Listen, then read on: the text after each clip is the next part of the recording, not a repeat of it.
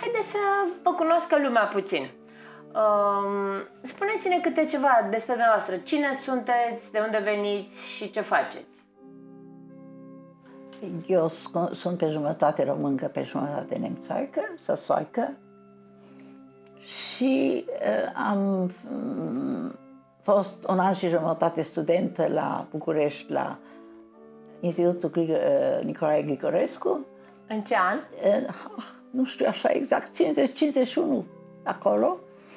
Și din nefericire, exact în epoca în care originea socială era importantă și eu n-am avut o origine sănătoasă.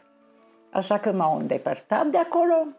Povestiți-ne un pic despre uh, dubla originea dumneavoastră. E importantă în creația dumneavoastră, apar mereu uh, probleme legate de apartenența fie la partea românească, fie la partea germană. Nu. Mie așa mi se pare. Da? Atunci inconștient. Dar în orice caz îmi pare bine că originea aceasta dublă m-a împins spre problema aceasta, care este o problemă în societatea modernă. De unde vii, ce, care națiune îi aparții și asta m-a dus să înțeleg mai bine problemele pe care le aduce o națiune față de cealaltă.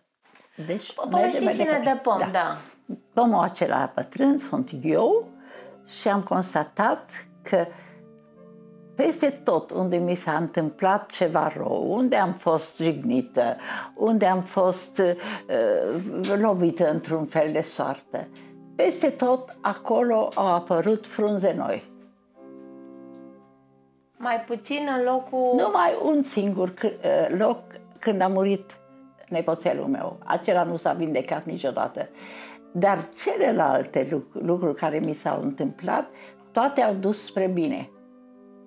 Adică am învățat ceva nou, am prins un nou fir de viață și găsesc că traumatismele acestea mi-au făcut numai bine. Vedeți că peste tot unde ai e un cui bătut în copac, crește o, o rămurică nouă. Vedeți că acolo este o pasăre. Pentru că eu cred că am o pasăre în cap.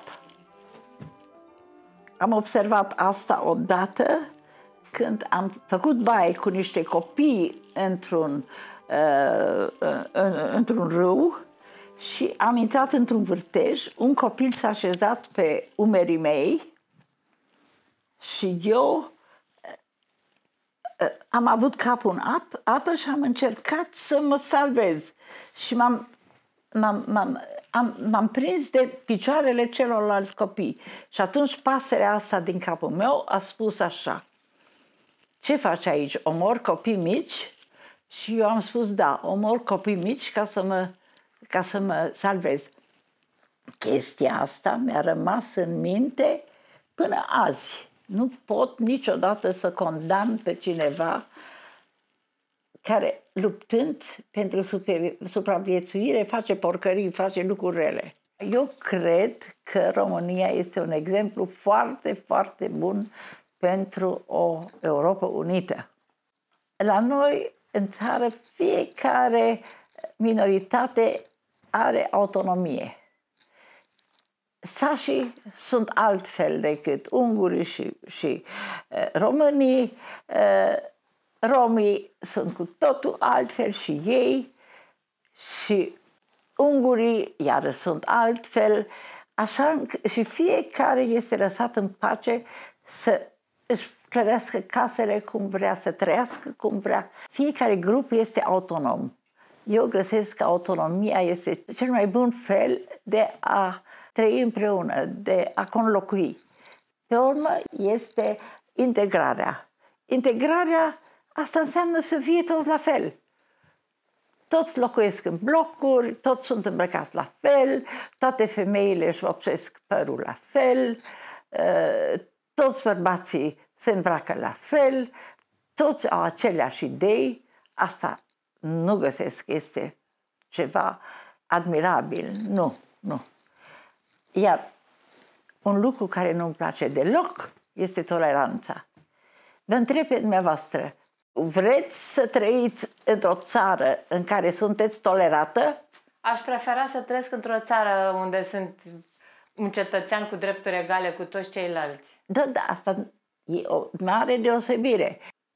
Dacă, drepturi egale cu toată lumea, dar, dar sunt, nu simțiți că sunteți tolerată. Ba da, am trăit în Franța experiența asta și nu n-a fost prea plăcut. Tocmai de aceea spun, toleranța găsesc că este ceva foarte periculos pentru că într-un fel te rănește fără să-ți dai seama. În subconștient ai o rană de care nici nu-ți dai seama. Și de aceea, după părerea mea, cea mai bună soluție pentru o Europa unită este uh, autonomia, așa cum este la noi. România, exemplu pentru o Europa unită. Uh, și cei din mijloc, cei care n-au Cei din mijloc sunt, uh, pe trunchiul copacului, sunt politicieni.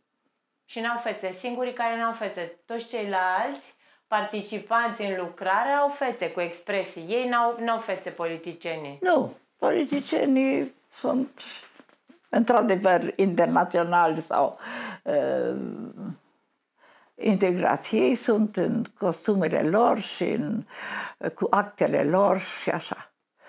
Pe când noi ne simțim fiecare bine în cercul lui propriu. În România au fost școli săsești în timpurile cele mai grele.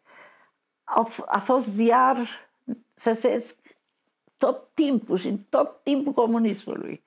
Așa încât eh, fiecare naționalitate cu ziarul ei, cu școala ei și sunt oricum 18 etnii în România. Eu în viața mea n-am cunoscut niciun singur om rău. Niciun singur om rău. În toată viața mea în care am cunosc, cunoscut timpul dinaintea războiului, eh, nazismul, războiul, comunismul a început, acum schimbarea spre postcomunism, spre postcapitalism. N-am cunoscut în viața mea niciun singur om rău, dar foarte mulți oameni care preiau fără să se gândească ideile altora. De exemplu, eu nu l-am cunoscut pe Hitler, dar bănuiesc că el a avut o doză de răutate. Toată lumea a pre- preluat ideile lui. De ce? De ce nu s-a opus nimeni?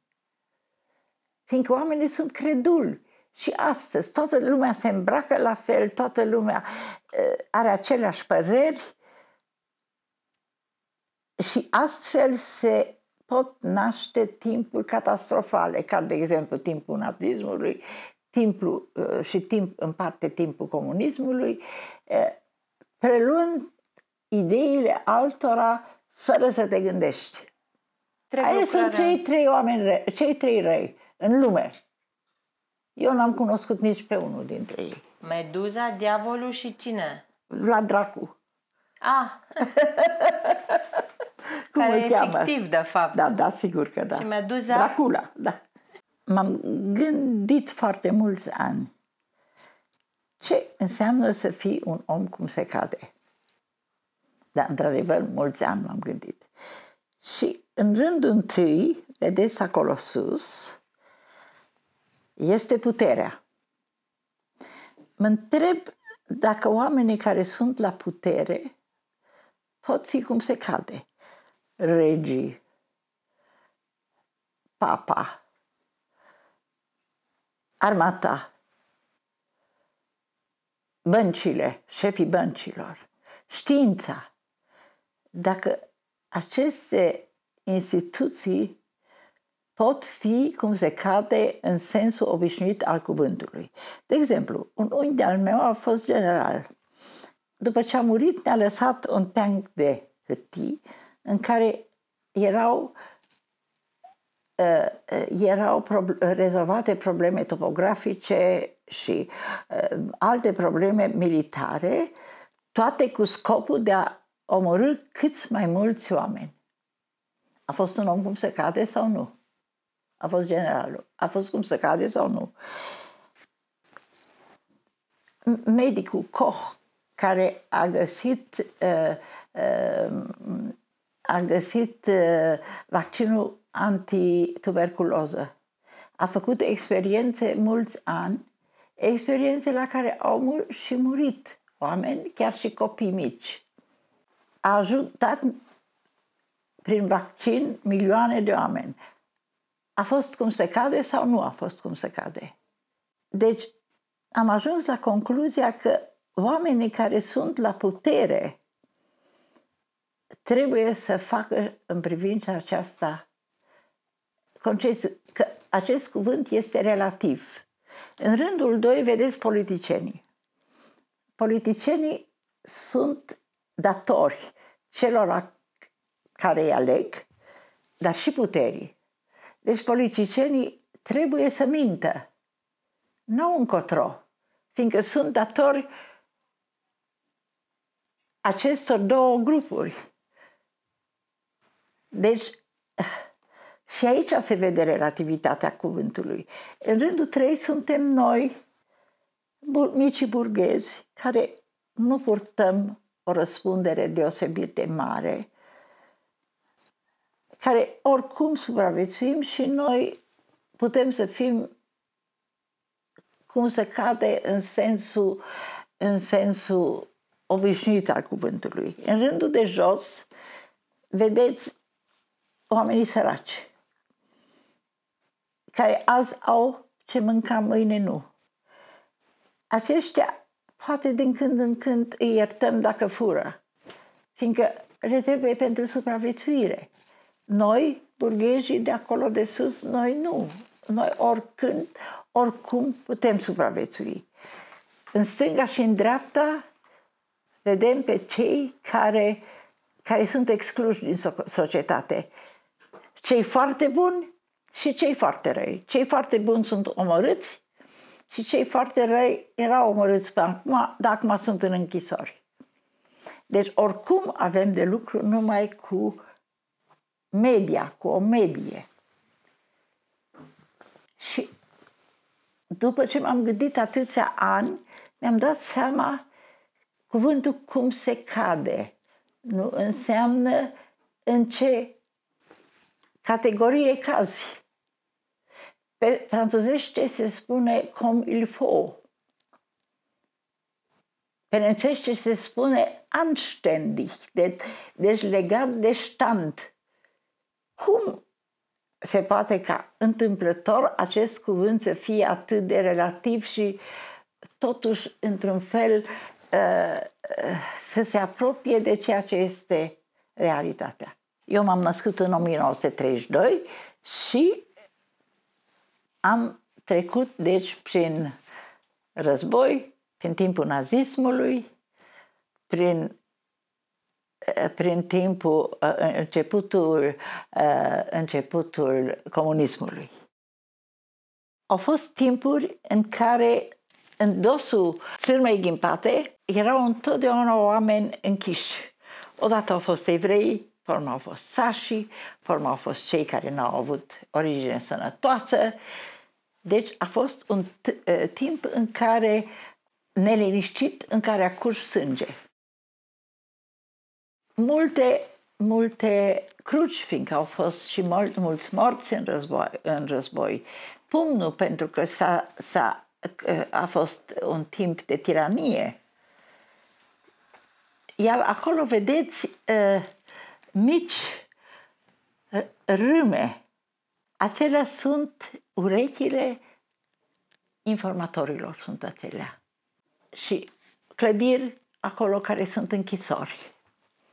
Mulți mă întreabă, da, dar de ce e așa frumos colorat? Pentru că timpurile grele în care curge sânge roșu, întotdeauna sunt tare colorate timpurile de război în care auzi cum cad bombele în jurul tău, provoacă emoții puternice și acelea întotdeauna sunt colorate.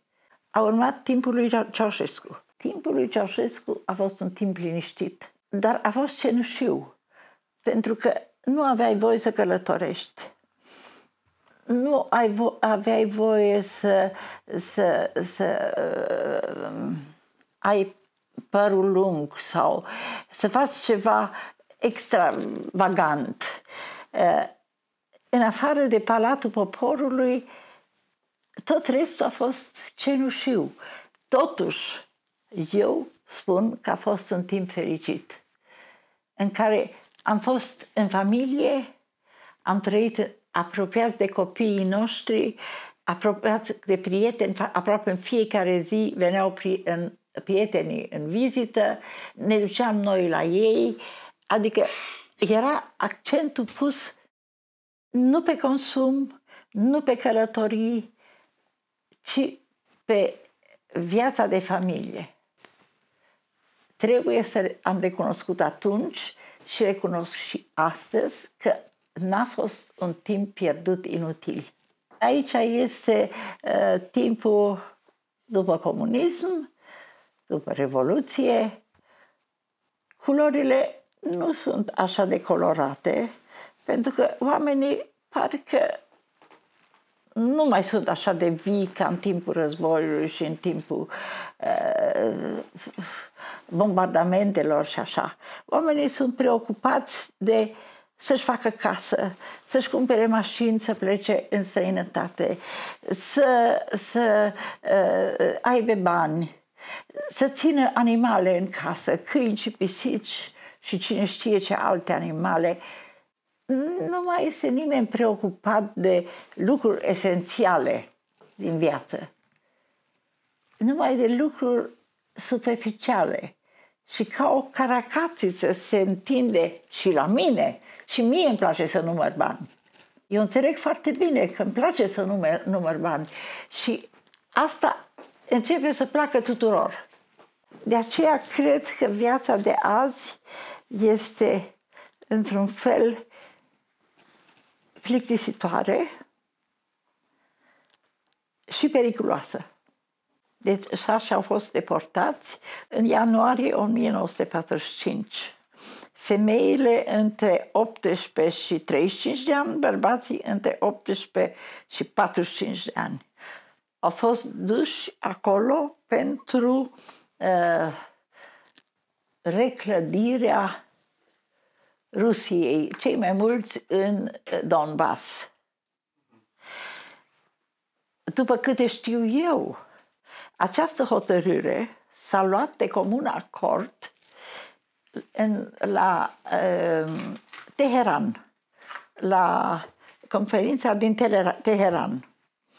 Acolo, Churchill, Roosevelt, Stalin au discutat despre această problemă și au fost toți de acord ca nemții din țările este europene, deci din Polonia, din uh, uh Ceoslovacia, din România, din Ungaria să fie duși pentru refacerea, uh, pentru 5 ani, pentru refacerea uh, Uniunii Sovietice. Celelalte țări, polonezii au, au gonit nemții din țară, uh, cehii la fel, ungurii la fel. Numai românii nu i-au gonit. De aceea, fiindcă românii au fost cum se cade și nu i-au gonit, de aceea au fost foarte mulți, fiindcă mai erau foarte mulți aici, au fost mulți deportați din, uh, din România. Și există multe cărți apărute de curând despre numărul mm, real de oameni care au fost deportați și oameni care au murit acolo și este o literatură uh, numeroasă despre această temă. Lucrarea aceasta este despre autiști am citit câteva cărți despre autiști și mi s-a părut că cam așa trebuie să simtă un autist. Înconjurat de mulți oameni, înconjurat de case, de blocuri, înconjurat de mașini, de avioane, de o continuă mișcare. La mijloc este o persoană îngenunchiată care, care își acoperă ochii, înfricoșată. Eu cred că dacă încerc să înțeleg autiștii, cred că le este cumva frică de ceea ce mișcarea asta continuă care este în jurul lor. Aici este, se numește murim. Vedeți? Este, acolo tinerii dansează și se distrează. Chiar și cântăreața aceea cu barbă, și pe aceea am făcut-o acolo, deci ei se distrează. Și deja acolo se formează uh, uh fluxul distrugerii. Adică suntem atrași de această gaură neagră în care dispare tot și casele și câinii și soții și soțiile și copiii și tot, tot, tot dispare acolo.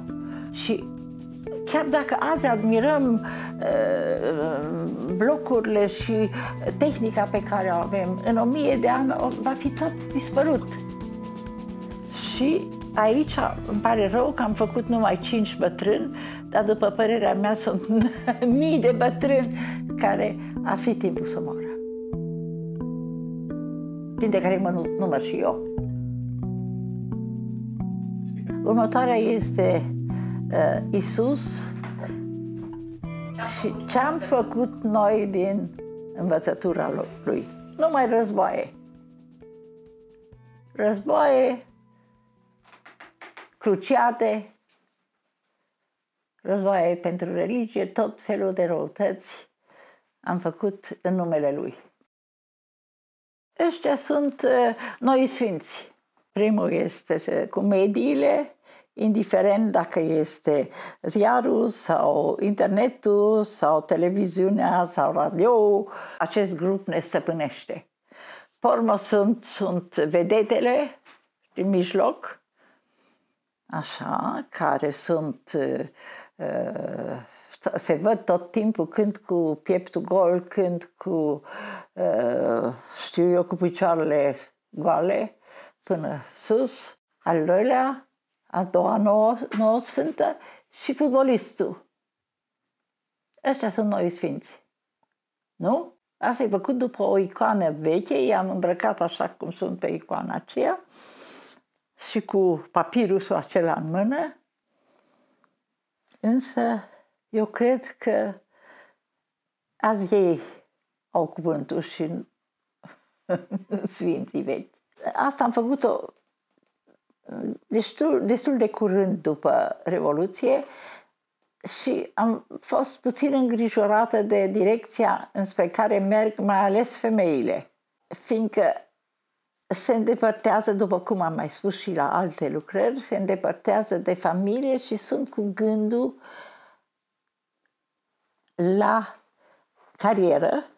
Vedeți că e drăgușorul acela care stă pe sacul cu bani.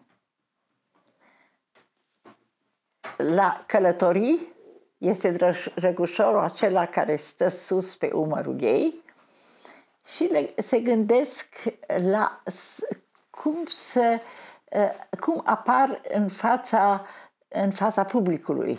Este drăcușorul care stă pe televizor. La copii nici nu se mai gândesc așa tare. Asta este pomul omenirii. Întâi am fost câțiva homo sapiens, omul din Neandertal, și pe urmă ne-am civilizat, am devenit mai mulți și mai mulți și am început și cu industria și ne-am înmulțit și viața noastră a devenit din ce în ce mai frumoasă și mai plăcută și nu a mai fost frig. Și acum încep să se vadă consecințele. Cine este în stare să ne schimbe pe toți și să ne facă să ne să avem mai mult spirit de răspundere. Vreți să spun adevărul? Mafia. De ce? Mafia au, sunt căsătoriți și au familii, au clanuri. Deci nu sunt singurateci cum, suntem, cum sunt azi oamenii. Ei au păstrat organizația asta de familie și de clan. Deci au interesul ca omenirea să nu se stingă. Și atunci am făcut sus un mafiot care are un politician care are, are aici stă cu brațele așa și aici ascuns, ascuns are o armă, un revolver. Este vorba de, de, de diferențele între oameni, deosebirile între oameni. Odată, deși se neagă acum, este o diferență între bărbați și femei. Se vede în orice căsnicie, odată se împacă, se ceartă, se împacă, se ceartă. De aceea am făcut și trandafiri acolo care au și țepi. Deci o deosebire mare între bărbați și femei. A doua deosebire mare este între generații. Eu am probleme cu fiii mei. Cred că și fiii mei au probleme cu copiilor care între timp au către 40 de ani. Deci între generații întotdeauna sunt tensiuni. Și a treia deosebire este între tine și străin. Acolo sus am făcut refugiații care vin în Germania. Este greu să, să înțelegi o cultură străină. Deci astea sunt cele trei diferențe, găsesc eu, diferențe mari care, care există în omenire. Cum să spun, diferențe atât de mari încât nu pot fi excluse. Adică nu poți fără o doză de indiferență sau de, de, de îndepărtare sufletească, nu poți să conviețuiești. Degeaba încerci. Trebuie să ai atâta respect față de ca femeie față de bărbat sau ca bărbat față de femeie, încât să accepti și lucruri pe care nu le înțelegi. Și același lucru e în generații și același lucru este între tine și străini. Aici am făcut același lucru, dar în mod abstract, din simboluri. Vedeți? Simbolul femeiesc, simbolul masculin și smiley și alte uh, figuri astea care amintesc de, de tineri. Așa și pentru propriu și străin am ales uh, scrisul nostru și scrisul arab și scrisul chinezesc. Tot pentru noi, complet străin. Trebuie să-l înțelegem cu oarecare greutăți. Astea sunt lucrurile, în fond, care m-au preocupat în viață. De relațiile cu soțul meu, relațiile cu copiii mei și relațiile cu uh, străinii. Și mă preocupă și astăzi. Pentru mine nemții din Germania sunt străini, pe care nu îi înțeleg deloc. Aici este vorba despre munca omului.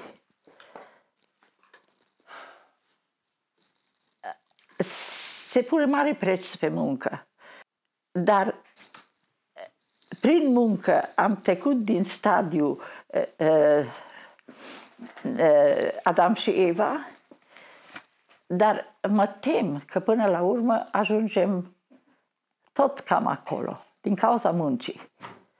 Acum trebuie să spun ceva, că am făcut un oarecare plagiat, pentru că acest muncitor, tipic muncitor, a fost pictat de un, un pictor elvețian care se numește Hüller. Dar mi s-a părut așa simbolic pentru munca noastră care uh, trebuie tăiate pădurile, trebuie făcute uh, palate, trebuie făcute uh, domuri și biserici, una mai înaltă decât cealaltă. Munca asta mă tem că ar fi fost mai bine să dormim mai mult, să ne distrăm mai mult și să nu muncim chiar așa de mult. Decât să mint, să spun o minciună, mai bine spun că am 90 de ani și 68 de zile și am uitat ce am vrut să exprim prin această lucrare. Numai cu surâsul și cu, și cu uh, fluierașul nu se poate conduce o lume. Mai sunt necesare și cismele. în orice caz, dacă te uiți bine la lucrare, vezi că societatea este foarte greu de condus și are și elemente drăcești. Sau și trăsături drăcești. Hai să zicem așa. Am ajuns la concluzia că mijlocul vieții nu ne aparține. Adică, în copilărie putem să fim așa cum suntem. La bătrânețe, iarăși putem să fim așa cum suntem. Pe când în mijlocul vieții, în câmpul muncii, uh, în, uh, uh, inclus în viața socială, deseori trebuie să ne prefacem în ceva ce nu suntem. Toată lumea zice că mijlocul vieții este cea mai frumoasă. Dar noi nu suntem, noi ne, 50% ne prefacem. Frumos e să fii tu însuți. Eu găsesc că e frumos între cele mai frumoase lucruri din viață pe care le ai în viață face parte, face parte să fii tu însuți. Așa, de exemplu, cele mai frumoase lucruri din viață sunt uh, tandrețea, sănătatea, să poți fi tu însuți și râsul. Astea sunt cele mai frumoase lucruri din viață. După părerea mea, uh, ultimii martori, bătrânii, care nu-și mai amintesc nimic corect. Este, uh, eu nu știu dacă la psihologie Eh, eu am citit o carte de psihologie de, de curând, odată privești, pormă subiectivezi și pormă generalizezi. Deci ceea ce bătrânii au trăit în viața lor este subiectivitate și generalizat. Nu se poate pune niciun fel de bază nici pe datele pe care le prezintă, nici pe întâmplările pe care le descriu. Asta vreau să prin asta. El zice pe asta s-a întâmplat în cutare an. Ea zice, da, nici vorbă. În cu totul alea. Aia s-a întâmplat în cutare loc, dar nici vorbă.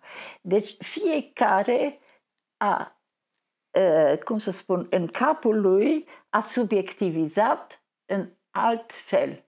Adică aceeași scenă fiecare o trăiește în alt fel aici este o scenă și toți patru membri o văd într-alt fel.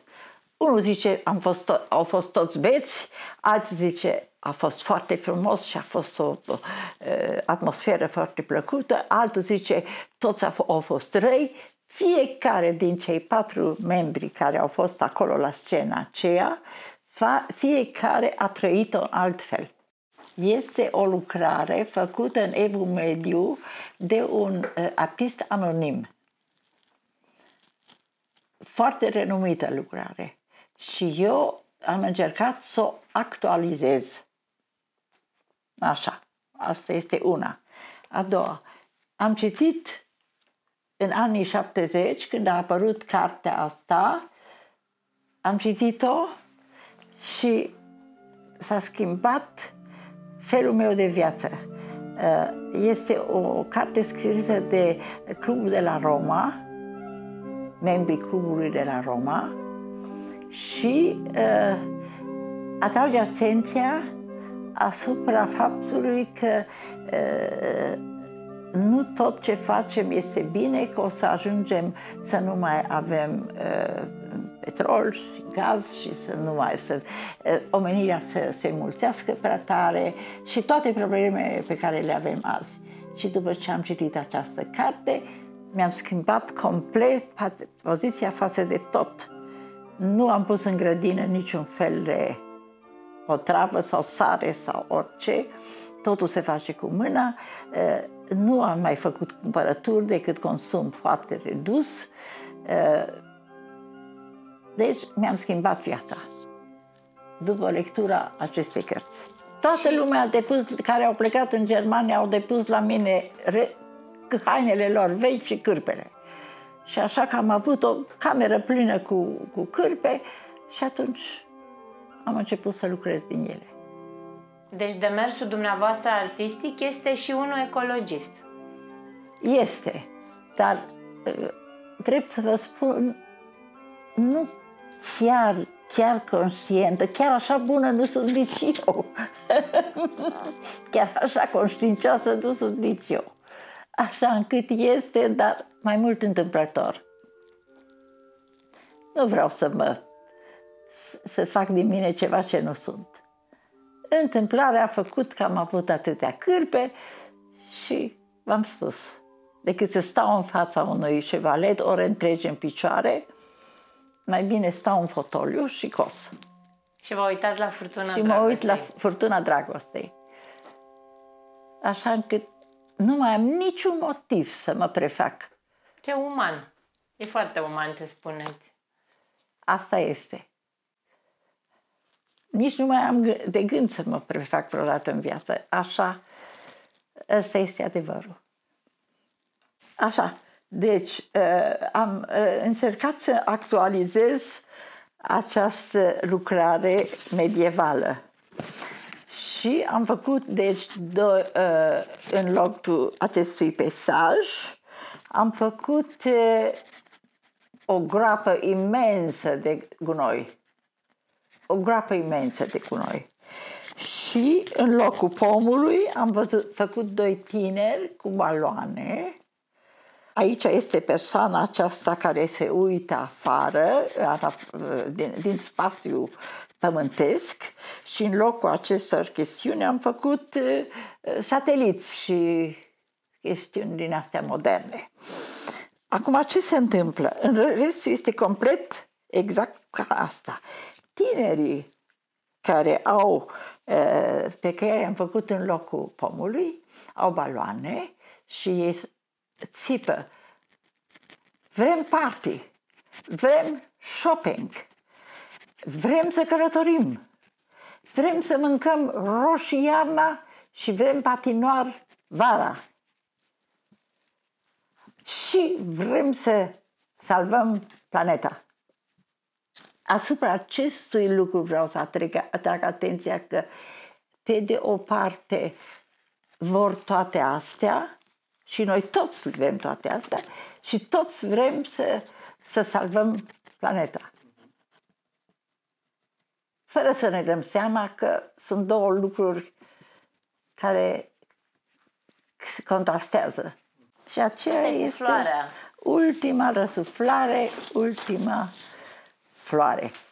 Și acum, la 90 de ani și, 80, și 68 de zile, Vreau să mai rup o floare frumoasă din viață. Și deși sunt deja în trăsura care mă duce, și nici măcar nu știu cine conduce căruța în care dispar eu. La sfârșitul vieții, timpul se strânge într-un, într-un punct. Adică, într-un fel, timpul dispare. E ca și calul acela care dă impresia că fuge, dar e numai impresia că fuge. Fiindcă, în realitate, sau nu în realitate, după simțământul unui bătrân, nu, exi- nu mai există timpul. Jos, sub cal, sunt, este restul vieții pe care l-am trăit cu copii și cu soț și cu una și alta, și copilăria și tot. Dar toate acelea le lași în urmă și au, a rămas un singur punct. Asta este ce vreau eu să arăt prin calul acesta care îți dă impresia că fuge, așa fug caii. În felul ăsta fug caii, nu are picioarele în fond legate. Așa fug caii. Dar în realitate e legat și nu, nu înaintează. Asta e impresia pe care o am acum despre viață. E o părere optimi- ă, pesimistă? Nu, nu, nu. Dumneavoastră, Deloc. dumneavoastră spuneți că din orice lucru rău scoateți un lucru bun. Da. Păi da, pomul. Din toate întâmplările care m-au rănit, a ieșit o creangă cu flori, cu, cu, cu, cu uh, frunze. Și secrețiile? Secre- ce? Secrețiile calului. Secre- a, a. e, așa e viața. Sunt și secreții, sunt și... Uh, asta aparține de viață. Toate alea aparțin de viață. Și ciorile? Ciorile sunt în jurul calului și se strâng pentru că uh, e pe moarte. Sau deja, poate este deja mort. Și de aceea se strâng acolo ciorile. Dar toate astea o să vă amintiți când o să fiți bătrâni. Acum nu, nu puteți realiza. Eu am stat cu bunica mea într-o cameră 15 ani, mama, bunica și cu mine, într-o cameră mică. Și credeam că știu totul despre bă- bătrânețe. Avea 85 de ani când a plecat în Germania. Credeam că știu tot despre bătrânețe. Și acum îmi dau seama că habar n-am. Numai prin cea, dacă treci prin ceva, îți dai seama cum e. Asta este cu uh, soțul care a avut iubită și soție și amantă. Da. Și te întreabă soția care e disperată acolo dacă soțul ei va ajunge în paradis sau în iad. Asta a pățit-o mătușa mea în Germania, care după 50 de ani de căsătorie și uh, 5 copii pe care a crescut și așa, după moartea lui a aflat că el a avut încă o familie. Atunci a aflat că el a, tot aia 50 de ani de, de căsnicie, el a mai avut într-o localitate apropiată altă familie la care se ducea. Și aici ați niște draci și aici ai un înger. Păi da, fiindcă soția nu știe dacă va ajunge soțul la, la înger sau mai degrabă la draci. Eu nu știu, cunoașteți cartea lui uh, Hemingway, Bătrânul și Marea. Da. Găsesc că este foarte potrivită pentru bătrânețe. E foarte pe- potrivită. Numai acum am dau seama că e o carte, ajunge la mal cu, și ajunge numai cu scheletul. Tot restul s-a dus. Peștele. Da, peștele acela mare era așa mândru că l-a prins și până ajunge, și ajunge la mal și vreau vrea să-l arate tuturor ce a prins el în mare și El era mâncat de ceilalți pești. era, da. Asta e cam, asta este ultimul stadiu al bătrâneții. Dar nu o înțelegi până nu ești în faza asta. Străbunica mea a fost pictată de un pictor sas din Brașov, Fritz Kim, și uh, la un moment dat a s- vrut să vadă ce pictează el acolo. El, ea era deja bătrână și i-a spus, vai, domnul Kim, mi-ați făcut atâtea riduri. Și atunci el a spus, stimată doamnă, pe departe nu toate. Ultimii sași care pleacă și rămâne o bătrânică, eu, singură. Și eh, satul se dărâmă, casele se dărâmă, biserica se dărâmă, totul, totul se dărâmă. Deci 800 de ani, aproape 900 de ani, pleacă ultimii sași din sat. Rămâne o bătrânică singură. Casele sunt gata să se dărâme, cetatea este gata să se dărâme și e un moment foarte, foarte trist. După ani de zile,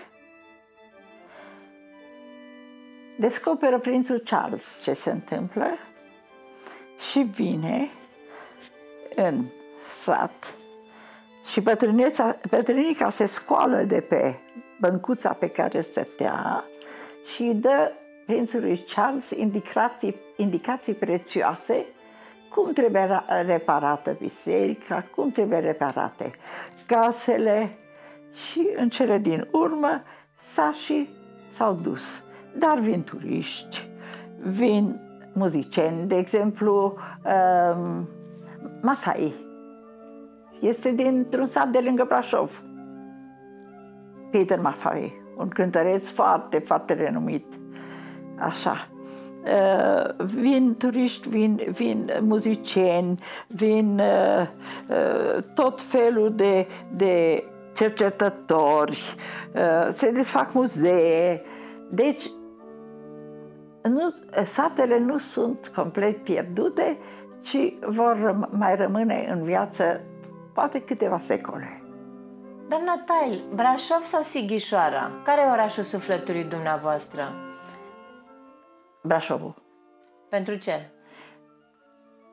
Uh, pentru că uh, este un oraș care mi este mai apropiat, în primul rând, bineînțeles, pentru că mi-am petrecut acolo copilăria, dar nu e singurul motiv. Am acolo și prieteni care 90% au murit. E casa părintească acolo. Mai aveți casa? Nu. Dar există în continuare? Loc, da, locurile unde am locuit există, da.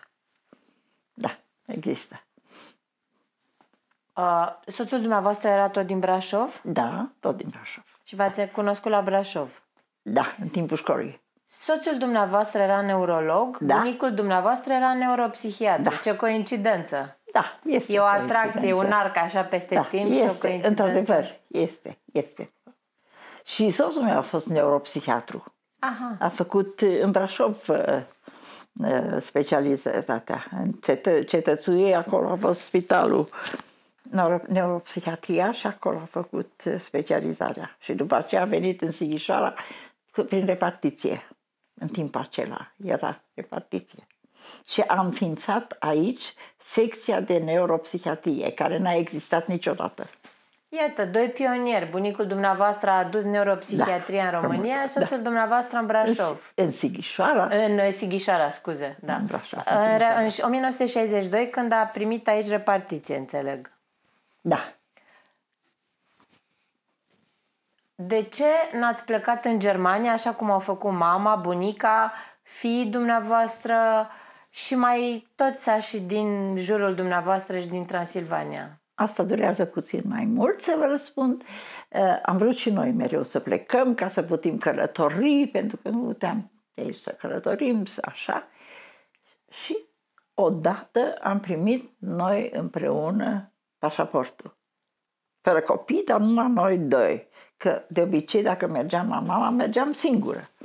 Și odată am primit împreună așa. Și uh, era vara și atunci am remarcat, domnule, în Viena, în fața Ștefansdomului, nu, pe mine mă fotografia toată lumea. Am mers în Köln, la domnul din Köln, pe mine mă fotografia și atunci l-am întrebat pe soțul meu, spune, sunt eu așa frumoasă, de ce mă fotografiază toți? Și atunci el a spus, nu, frumoasă nu ești, chiar nu ești. Și atunci m-am tot gândit, oare de ce mă fotografiază? Până am ajuns la concluzia că aveam o rochie roșie. Nimeni din jurul meu nu avea o rochie roșie și roș, un punct roșu pentru o fo- fotografie se zice că arată bine. Și atunci m-am gândit, de ce nu are nimeni o rochie roșie? Și m-am uitat cum sunt îmbrăcați ceilalți. Toți erau îmbrăcați în alb și albastru, adică model cu model alb-albastru. Am ajuns la mama și i-am spus, arată-mi ce, ai, cu- ce rochie ai cumpărat anul ăsta. O rochie alb-albastru. Nu mi-a venit să cred că e posibil așa ceva. La întoarcere, eram aproape de Sighișoara, soțul meu zice că așa cu puțin uh, conștiința încărcată, zice, eu nu mai vreau să plec în Germania. Definitiv. Zic, de ce nu vrei? Și pentru că acolo nimeni nu are nevoie de mine. Aici este nevoie de mine. Dar acolo nimeni nu are nevoie de mine. Și e un sentiment bun să știi că ești uh, dorit și e nevoie de tine. Și atunci i-am spus, fii liniștit că nici eu nu mai vreau să mă duc în Germania. Și atunci el zice, și tu de ce nu? Că ai mama acolo și tot. Zic, pentru că toți sunt spălați în creier. N-ai văzut că un lucru, a, o culoare a fost modernă și toți oamenii pe care i-am întâlnit erau numai îmbrăcați în aceeași culoare. Nu vezi că oamenii nu mai gândesc, nu mai au, și-au pierdut personalitatea. Fac ceea ce li se spune la televizor sau prin, prin, prin uh, medii. Eu nu pot să trăiesc într-așa o țară. Și atunci amândoi am fost de acord, nu mai plecăm. Frumos. De, dar el din alte motive și eu din alte motive. Nu, mereu așa a fost în viață. Ne-am întâlnit, dar din complet alte unghiuri. Doamna Tail, perioada cea mai bună a vieții dumneavoastră, cea mai frumoasă sau cea mai bogată, spiritual, uman, este perioada căsniciei sau perioada artei? Dumneavoastră ați început să faceți artă când alții ies la pensie. Uh, spuneți-ne un pic despre asta. Căsnicia? De ce? Păi n-am pus Andesa pe primul loc.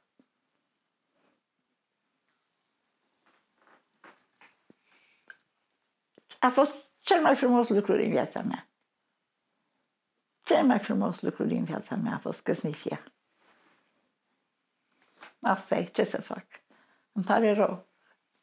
De ce să vă pară rău? Pentru că cei mai mulți ar aștepta să spun arta. Nu. Arta este consecința fericirii mele din căsnicie. Foarte frumos. Da. Pentru mine e maternitatea. Nici eu n-am să zic arta, deși mă gândesc la artă tot timpul. Da. Copilul e ca un bun, ca un dat firesc, așa, lam. Trebuie să stau acolo să mă gândesc tot timpul. Dar la artă mă gândesc tot timpul și cu toate astea tot maternitatea o prefer. Asta clipă. Asta și spus-o la vârsta dumneavoastră. Dar urmează timpul în care lăsați în urmă asta și vă detașați. Asta sper că urmează. Copilul aveți 20 de ani, soțul aveți 60 de ani. Este o legătură mai strânsă. Copilul și mama o ai și mai mult. Nu. Ba nu, de fapt tot soțul, așa e, da. Cea mai lungă perioadă și cea mai intimă a fost cea cu soțul. Eu găsesc că tristețea este unul din cele mai frumoase sentimente pe care le poți avea. Și tristețea o simt, după soțul meu o simt tot timpul. Dar e ceva frumos, dulce, fără ură, fără reproșuri. Tristețea e... Acum viața mea e umplută de tristețe. Dar e frumos. Am fost împreună până în ultima zi, până în ultima clipă. Am spus că a fost cu mine în spital când m-am operat. Nu ne-am despărțit. Nu. Ce predomină? Ce e mai important? Uh, partea românească sau partea germană? În primul rând, faptul că am rămas în țară înseamnă că sunt foarte, foarte atașate de partea română, că altfel m-aș fi dus poate în Germania. Și pe de altă parte pot să spun că e la egalitate. Adică vreau să spun partea săsească și partea românească. Nu vorbesc de partea germană. Partea săsească da. și partea românească sunt cam la egalitate am mai mult caracter săsesc, punctuală și mm, mai mult, uh, cum să spun, am caracter săsesc, dar mă simt mult mai atașată și mai bine cu românii. Ce să fac? Îmi place. Îmi plac românii. un moment frumos din viață. Cel mai frumos moment. Ați, ați putea numi un nu. moment? Toată viața. Până Ai... și inundațiile. Am avut în bloc un metru 60 apă. Toate mobilele astea au fost în apă, în nămol. Și acum aș bat copiii joc de mine și spun că eu și spus uitați copii ce frumos e! Să vă, uitați-vă, savurați momentul. Și acum aș bat joc de mine.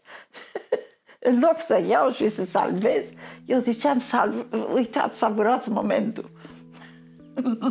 De unde vine optimismul ăsta? Înțelepciunea asta de a privi lucrurile cu detașare? Nu știu de unde. Nu știu. Dintr-o experiență de viață sau așa ați fost tot timpul? Nu, eu cred că experiență de viață. Traumatisme, alea mi-au făcut foarte bine. Foarte bine. Da. Azi văd viața mea fără timpul se exclude ca o clădire frumoasă fără timp. Totul e în aceeași clipă la care eu n-am luat parte. Nu e cu nimic meritul meu. Totul a derulat de la sine. Asta e foarte curios. Nu știu, niciodată n-am fost credincioasă, dar acum încep să mă gândesc, e ca și când uh, eu n-aș fi luat parte. E ceva splendid în care mă aflu, dar eu n-am contribuit la asta cu nimic. Adică ați primit un cadou de la viață, de la divinitate, de la, da, nu știu, de la nu cer știu. și asta, pământ. Asta nici eu nu știu. Nu știu. Apar n-am. Cum de a apărut și, într-adevăr, toate lucrurile astea sunt în capul meu. Dar nu pot să spun de unde au venit. Nu-i meritul meu. Căsnicia bună, copiii buni, toate au venit de la sine. Copii sau nepoții? Pe nepoți aproape că nu-i cunosc. Foarte puțin îi cunosc. Vin și acum în 5 zile vine Iohannes cu fiul lui, vin cu, cu, cu copiilor, dar îmi sunt atât de străini.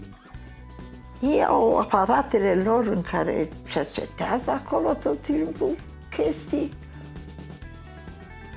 Adică vin dintr-o altă lume în care se gândește altfel, se simte altfel. Este uh, uh, la televiziunea germană dimineața l-a întrezat o emisiune filozofică condusă de doamna Blaiș. Și doamna Blaiș uh, a scris o carte despre dacă copiii au vreo obligație pentru părinți, adică față de părinți. Dacă copiii au obligație față de părinți. Și atunci uh, eu mi-am, uh, i-am rugat pe copii să-mi aducă această carte. Și uh, înainte de a citi cartea, mi-am făcut notițe că copiii n-au absolut nicio obligație față de părinți.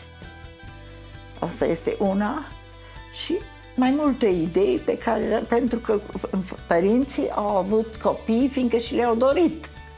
Nimeni nu i-a nici și de ce trebuie să ai o răsplată dacă ți se împlinește o dorință pe care o ai? Așa, asta era punctul meu. Am luat și am citit cartea.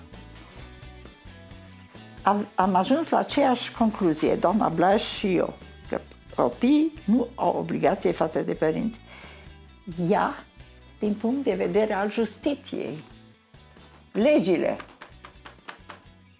Eu, din punct de vedere sentimental. Deci am ajuns la aceeași concluzie, dar pe cu totul alte căi. Ea mi-a rămas tot așa străină, deși e aceeași concluzie. Și probabil și eu, în teoria mea, îi sunt străină, deși avem aceeași concluzie. Vreau să vă mai întreb despre momentul în care v-ați reapucat de artă. De ce? Ce v-a declanșat uh, acest uh, imbold? Ne-a apucat pe toți, cum să spun, valul ăsta de, cum să spun, de, de, de, de schimbare. Mai mult, mult ceva psihologic, ceva... Era așa o euforie. Hai să zicem, o euforie.